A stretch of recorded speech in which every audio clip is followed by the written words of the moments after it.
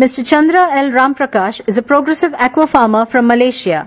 He has been demonstrating the feasibility of modern engineering technologies to provide clean water and aeration in closed aquaculture systems. Good afternoon, ladies and gentlemen. Mainly Dr. K.K. Vijayan, Dr. Kumaran, Dr. Vimala, and Dr. B. Minakumari, and everybody here. I would have missed out a lot of names here.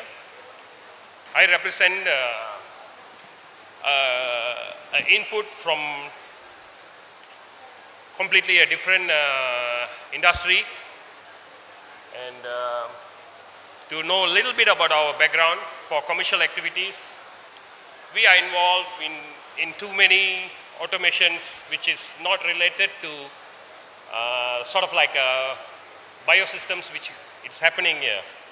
So uh, the reason I'm showing you what, what we do in the past years, we are talking about 30 over years of our experiences, is to say that how other industries which is not related to aquaculture can contribute to reduce your cost of production especially.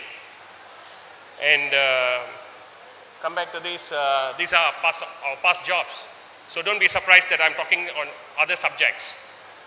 Talking about the Indian shrimp industry, we have very good engineering uh, teams in our organizations. I felt that I should share all our findings because most of it is easily copyable.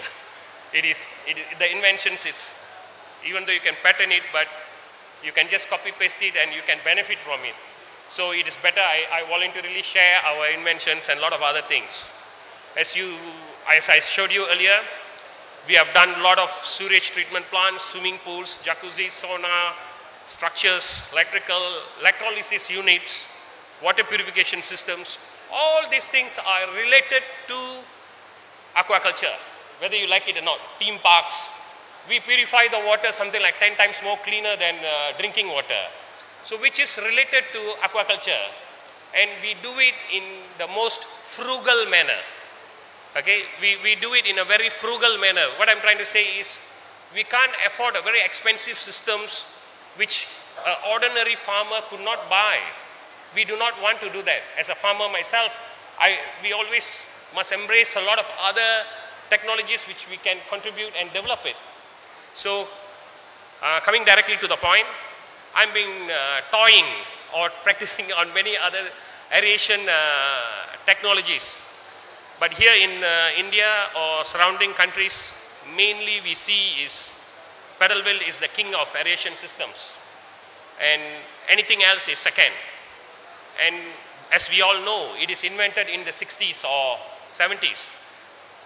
And uh, you going into the science of aeration, and uh, we also operate a lot of farms in Malaysia, Myanmar, and also in India. So coming back to this, after playing around with too many systems, too many uh, sort of like uh, uh, sort of like technologies, I, I just wanted to say that the best for now I see is we need something that uses very less too little moving parts, most efficient oxygenation. That's all you need. You don't need uh, expensive one or imported ones.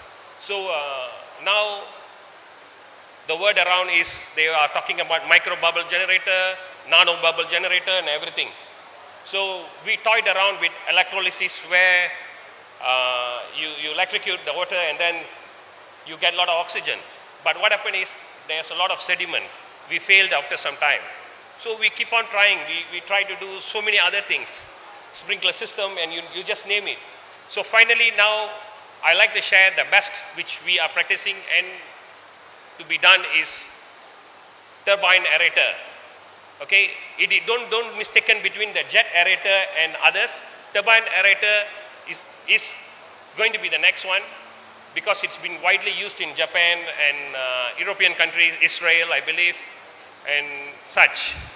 And uh, the comparison of power usage will be something like uh, uh, 1 to 5. Whatever amount of energy you use for pedal wheel, you only use one fifth of it to do your oxygenation of your pond.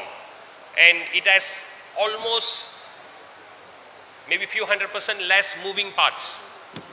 And uh, this is coming. You still can create, you can create waves in it. You can uh, sort of like go deeper. You can go up to three meter or more. The oxygenation will happen. The, like when I use it for my pedal wheel, I can go for 1.5, 1.6 or 2 meter maximum using pedal wheel. This you can go maybe 3 or more, the depth. That means more input, a lot of other things. So as such, I suggest, um, mainly I think CIBA have done a lot of, are doing a lot of work on these kind of things. Uh, we are willing to share whatever we have and uh, we can work together, all right? So, uh, okay, I, I wouldn't know how to play the videos actually. So, uh, I have said what, what is needed. So, the micro bubbles generated stays more in the water, more longer. It's not like, uh, you know, it is easy to control. Everything is uh, electrically controllable. And it will give you, for sure, a lot of profit and cost cutting measures. Thank you.